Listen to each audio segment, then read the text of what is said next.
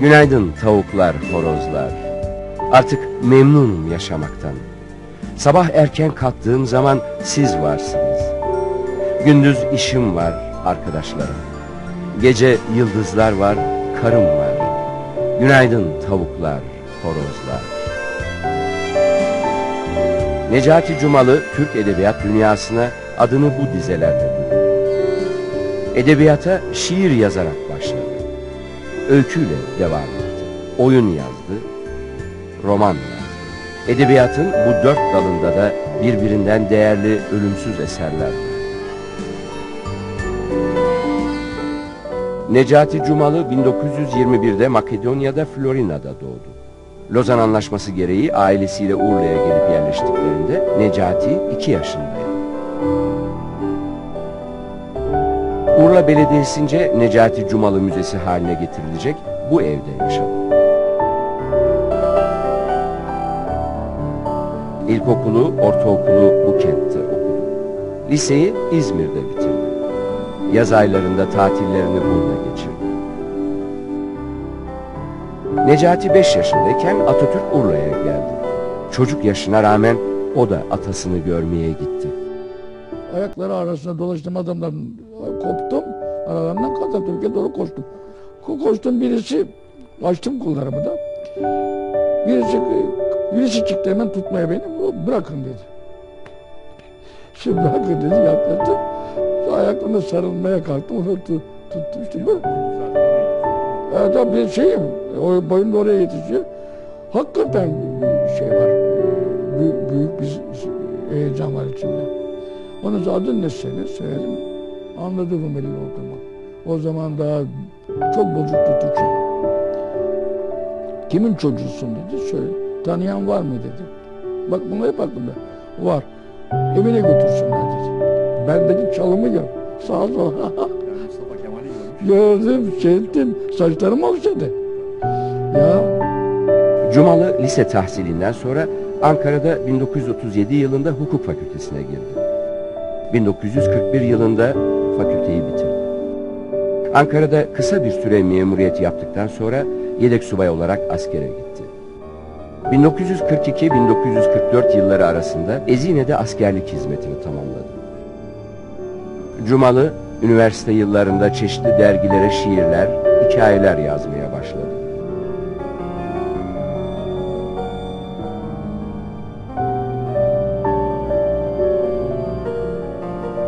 İlk şiiri 1939'da Urla Halkevi dergisinde yayınlandı. 1940'lı yıllarda Varlık, Yücel, Dost gibi önemli edebiyat dergilerinde Cumalı imzasına sıkça rastlanırdı. Varlık dergisinde yayınlanan Cumalı'nın hikayelerinden biri. Askerlik hizmeti sırasında ilk şiir kitabı Kızıl Çullu yolunu yayınladı. Aynı yıllarda Ulus gazetesine öyküler yazdı. Cumalı Ankara'da bulunduğu yıllarda verimli bir sanat ortamı içinde bulmuştu kendini. O ortamdan kopamadı, askerlikten sonra tekrar Ankara'ya geldi. Milli Eğitim Bakanlığı'nda önce yayın dairesinde, daha sonra güzel sanatlar bölümlerinde çalıştı. Bir yandan yazmaya devam etti.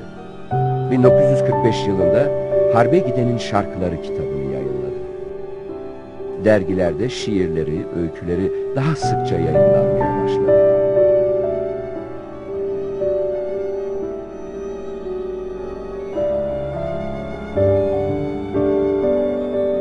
O yılların ünlü edebiyatçılarıyla tanıştı, dostluklar kurdu. Adnan Saygun, Ahmet Hamdi Tanpınar, Pertev Naili Boratan'la tanıştı. Cumalı yıllar sonra bile bu seçkin kişiler arasında geçirdiğim dört yıl benim için ikinci bir üniversite oldu diyecektir. dört sene kaldım Ankara'da. Hem deli toplu zamanı. Nurullah Taşlar, Nusret Hızırlar, Sebahattin Eyvallah falan falan. Ve ben bunların şımarttığı bir gençtim. Şımardım mı şımarmadım bilmem. Şöyle olacak böyle olacak diye. Orhan Veli abim gibiydi. O hep ilk, ilk benim kabilse davulumu çalan o oldu. Eksik olmasın. Sabahattin Eyüboğlu aynı zamanda Hasan olan Yüksekköy Enstitüsü'nde hocaydı. Sanat adamlarıyla birlikte Cumalı'yı da sık sık okuluna davet ederdi. Sonradan ünlü bir yazar olacak Talip Apaydın o yıllarda Hasanoğlan'da öğrenciydi. Ben de burada Yüksekköy Enstitüsü'nde öğrenciydim. Ve Necati Cumal'le o zaman tanıştık ilk defa. Zaten e, şiirlerini dergilerde okuyordum, koşturuyordum. E, garip şiirinin akımı içinde ama kendine özgü bir sesi olan duyarlı bir şairdi ve hoşuma gidiyordu. Sonradan Necati Cumal'le çok yakın ahbap olduk. Necati Cumalı bilindiği gibi sonradan öyküler yazdı, oyunlar yazdı, romanlar yazdı ve bizim e, kuşağın içinde belki benden birkaç yaş büyük ama yine de bizim kuşaktan sayılabilir. Kendine özgü bir yeri olan edebiyatçılarımızdan birisidir.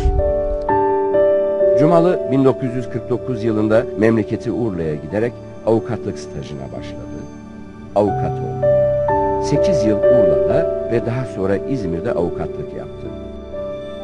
Avukatlık onu yaşamla karşılaştırdı. Karşılaştığı davalar ona toplumun dışarıdan görünümünü, sorunlarını sergileyen bir laboratuvar oldu.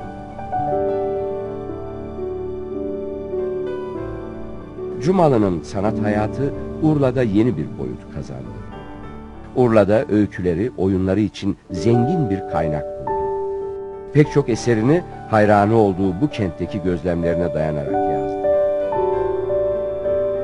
Yazarın ünlü oyunu Derya Gülü bu gözlemlerinin ürünüdür.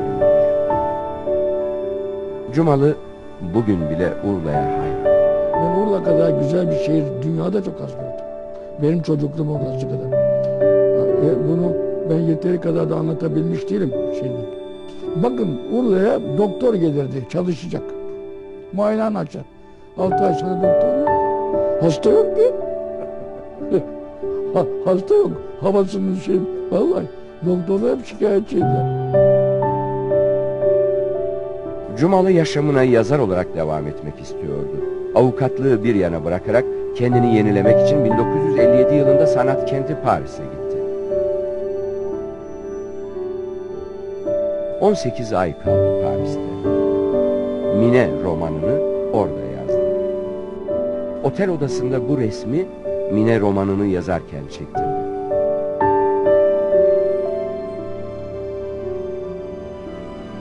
...18 ay kaldığı Paris'ten 1959 yılında yurda dönerken... ...artık yaşamını edebiyat adamı olarak kazanma kararını vermişti. Yurda dönünce İstanbul Radyosu'nda redaktör olarak göreve başladı. Sonra yayın sorumlusu oldu. 1960 yılında ömür boyu beraber olacağı Berin Teksoy'la evlendi.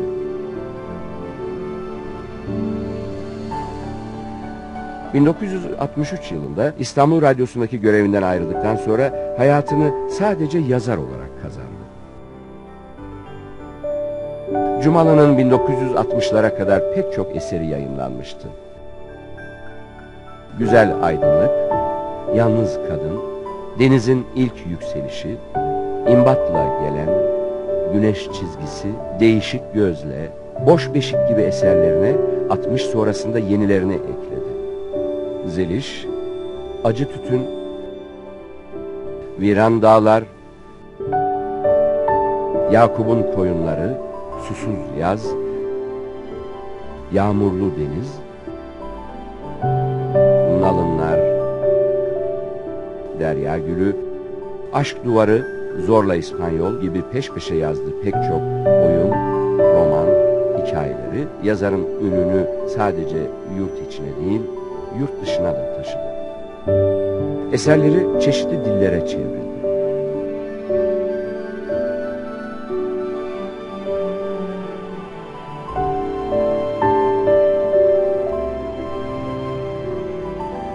Susuz Yaz, Boş Beşik ve Zeliş eserleri filme alındı.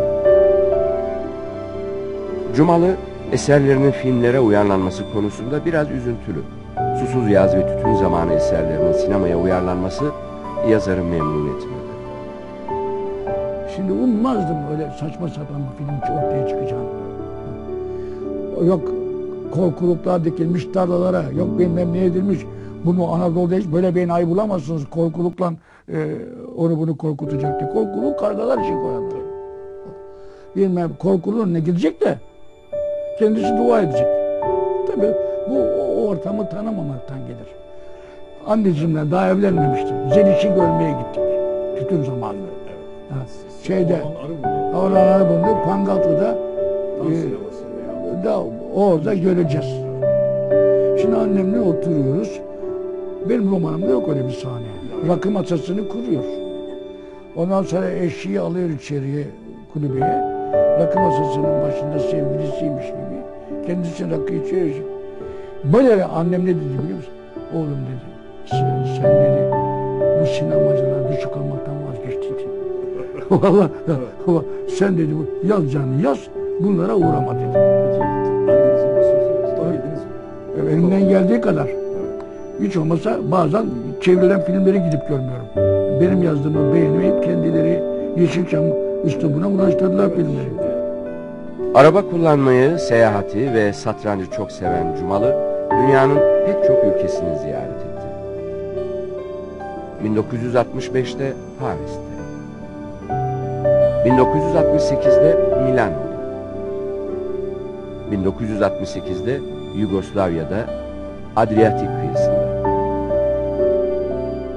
1977'de eşiyle Hidra adasında,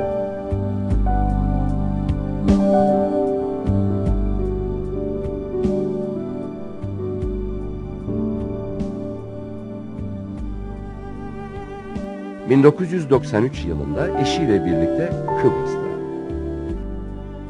...Macaristan'da... ...İran'da Farah Diba'yla... Cumalı'nın eserleri yurt dışında da başarıyla sahnelendi. Nalınlar oyununun İngiltere'deki afişleri... Derya Gülü Fransız tiyatrolarında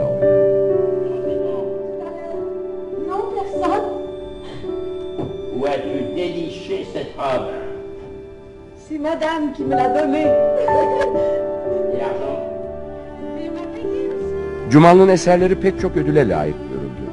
Sanatçı ilk ödülünü 1957'de aldı. Değişik Gözle adlı hikaye kitabı ile Sait Faik Hikaye Armağanı o yıl Cumalı'ya verildi. Cumalı, Makedonya 1900 eseriyle aynı ödülü 1977 yılında ikinci kez kazanacaktır. 1969'da Yağmurlu Deniz eseriyle Türk Dil Kurumu ödülü, 1982 yılında Kültür Bakanlığı Tiyatro ödülü, 1983-1984 yıllarında Yeditepe Şiir Ödülü, 1978 Muhsin Ertuğrul Tiyatro Ödülü, Tiyatro ve Televizyon Yazarları Özel Ödülü, Hacettepe Üniversitesi Onur Ödülü gibi pek çok ödül aldı. Cumalı ödüllerinin yanı sıra pek çok yarışmada da jüri üyesi olarak bulundu. Cumalı son yıllarda eserlerini bütün eserleri 7 ve 8 adı altında yeniden yayınladı. Eleştirmenler Cumalı'nın yapıtlarını genelde kısa bulurlar. Yazar eleştirmenlerle aynı fikirde değil. Bana sorarsanız Steinbeck'in en güzel kitabı Fareler ve İnsanlar. En küçük kitabı. Bu sayfa meselesi değildir. Burada çuvala doldurmuyorsunuz ya ambar şey. Bu insanın sözü varsa uzat sayfa. Bu bir zaman salgındı Türkiye'de. Uzatmak. Uzatmak. Niye uzatıyorsun? Bir, bir sayfa oku oku oku oku daha, daha hiçbir şey yok. 50, 50 susuzcaz 50 sayfada biter. Neler olmaz 50 sayfanın içinde. Ama benim benim örneğim var. İtalya hikayelerini ben 3-4 defa okumuşumdur. Vanina Vanini 24 sayfa 20 sayfa. Çıkarın bir satır çıkarabilirsiniz. Sayfa meselesi değil bu. Vanina Vanini en dolu, en bol bol sayfalı romanları ülkeler atar öbür tarafa. Necati Cumalı şiirden başlayarak kalemini hemen bütün yazı türlerinde kullandı. Şiir, roman, hikaye, oyun, deneme, günce dallarında 50'den fazla eser verdi. Eserleri pek çok yabancı dile çevrildi. Bravo. Ça fait 13 ou 14 ans que j'ai quitté Bodrum. Qui sait si je le reverrai un jour Yabancı tiyatro grupları Cumalı'nın eserlerini oynadı. Dünyanın dört bir yanında insanlar Necati Cumalı'nın eserlerini okuyor, oynuyor, izliyor. Anadolu insanının acılarını, sevinçlerini kendi duygularıymış gibi hissediyor. Tu rentré quand Tout à l'heure. Non, personne. Où as-tu déniché cette robe C'est madame qui me l'a donnée. Ee, Ben Necati Cumalı adını yıllarca önce ilk edebiyat merakımın uyandığı, uyandığı yıllarda dergilerde, edebiyat dergilerindeki şiirleriyle, özellikle Varlık dergisindeki şiirleriyle tanıdım. Ben şunu söyleyebilirim, önümüzdeki e, yıllarda, önümüzdeki hatta yüz yıllarda edebiyat meraklıları Necati Cumalı'nın yapıtlarına eğildiklerinde onun ülkesini seven, e, yaşadığı topraklara e, borcu olduğunu bilen ama bu borcu en iyi şekilde ödeyen bir aydın olduğunda karar kılacaklardır. Sanatımızı evrensel boyutlara taşıyan ender yazarlarımızdan biri, belki de en önemlisi Necati Cumalı.